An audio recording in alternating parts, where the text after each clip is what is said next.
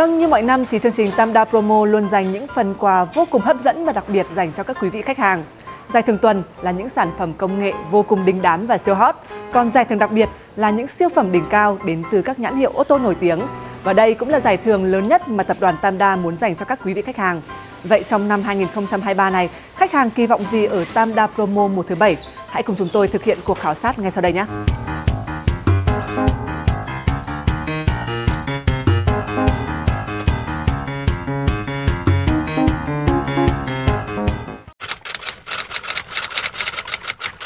Có, biết. Ờ, bốc thăm trúng thưởng. Tôi có và tôi cũng đã thử tham gia. Tamda Promo là mua hàng đạt một hóa đơn có giá trị đến một con số nào đó sẽ nhận được một phiếu bốc thăm, thả phiếu đó vào cái thùng bốc thăm, sau đó được bốc thăm và xem mình có may mắn hay không. Số hóa đơn để nhận được cái phiếu bốc thăm hình như là 6.000 korun thì phải. Tôi cố gắng đặt nhiều hàng hơn để tiền hàng nhiều hơn và có nhiều phiếu hơn, nhưng rất tiếc đều chưa trúng thưởng. Tôi chưa bao giờ nghe thấy về Tamda Promo nhưng tôi biết cửa hàng Tamda Foods. Tôi có biết về Tamda Promo và tôi có nhìn thấy ở trang Letak khi đến Tamda. Tôi cũng nhìn thấy các banner quảng cáo về Tamda Promo. Tôi là khách hàng thường xuyên của Tanda. Đó nghĩa là một chương trình tôi đã biết qua đó là một số chương trình như là trúng thưởng khuyến mại dành cho những khách hàng à, gọi như là tiềm năng hoặc những cái khách hàng nào mà tận tâm với cả Tanda và những dành cái sự quan tâm đặc biệt cho Tanda.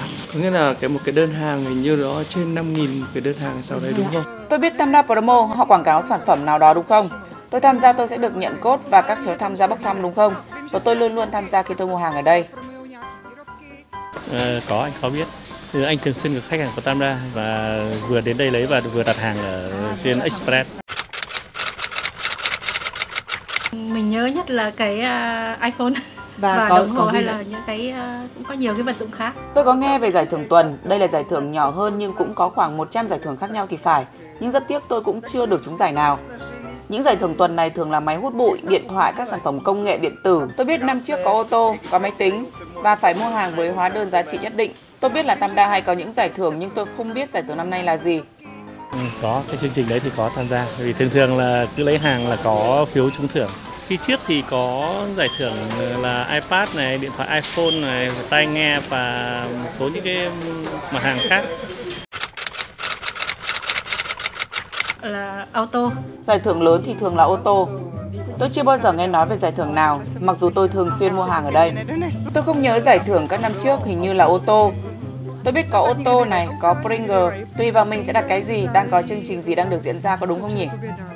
Đó là những chiếc xe hoặc là những cái sản phẩm mà đặc biệt nhất đó những cái chiếc xe như Maserati hay gì đấy cũng tôi đã cũng được trước đọc qua rồi.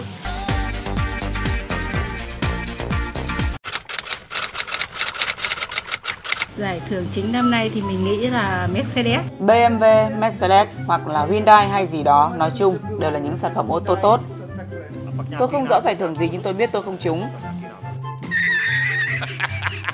giải thưởng đặc biệt nhất là đợt vừa rồi thì có cái xe Audi ờ, mới đời mới anh nghĩ là Tamda càng ngày càng phát triển thì chắc là giải thưởng sẽ càng ngày càng to lên cho khách hàng thường xuyên xem những cái chương trình mà giải thưởng kia như chương trình mới là là chưa biết. Chương trình kia thì mọi người người thì được ô tô người thì được cái nọ kia. Chị à, mong muốn là nhiều giải thưởng để cho nhiều người có cơ hội. Bởi vì là ờ, một giải thưởng thì chỉ có một người trúng thôi. Nhưng mà nhiều giải thưởng thì sẽ có nhiều cơ hội là có nhiều người để trúng thì mình cũng rất là vui càng nhiều càng tốt Tôi nghĩ tôi không cần ô tô vì tôi cũng có ô tô rồi, nhưng tôi nghĩ giải thưởng của Tamda cũng sẽ theo một cái khoản giá trị nhất định và tôi cũng cho rằng giải thưởng lớn nhất là ô tô. Nhưng tôi cho rằng nếu là ô tô thì sẽ tải sẽ hợp lý hơn vì những người tham gia là những người khách hàng, họ cần lấy hàng từ Tamda và ô tô tải sẽ rẻ hơn những cái trước. Nó có thể như những chiếc xe bán tải. Tôi nghĩ là nếu mà tập đoàn nên dành một cái phần thưởng nhiều phần thưởng đấy hơn cho cùng một cái giá trị đấy nhưng họ dạy chia nhỏ ra nhiều phần thưởng hơn thì sẽ đến được nhiều người hơn và cái khách hàng họ sẽ có những cái có những cái thiện chí và họ cái hy vọng là đằng nào thì tôi cũng đã mua sản phẩm. Cung cơ cần phải cho một đầu tư cho một cửa hàng kinh doanh của tôi cho nhu cầu buôn bán của tôi.